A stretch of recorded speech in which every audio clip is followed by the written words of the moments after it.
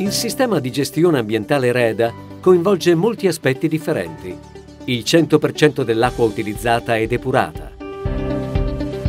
Quindi non si spreca niente Ma proprio. Non si spreca niente. In una vasca di questi quanti litri ci stanno più o meno? Proprio tanti. Tanti, Fede. Tanti. Tanto, tanto, ma molto tanto. Questa, il 20% viene riutilizzato nel processo di produzione, mentre il restante 80% è restituito all'ambiente. Qui l'aria è purificata 20 volte al giorno, così è più pulita dentro lo stabilimento che fuori.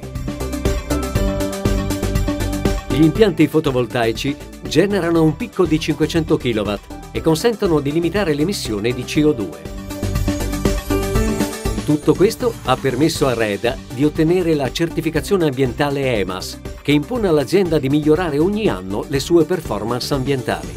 Reda è l'unica azienda tessile al mondo ad avere questa certificazione. Ci pensate se le altre aziende prendessero questa idea? Sarebbe bello.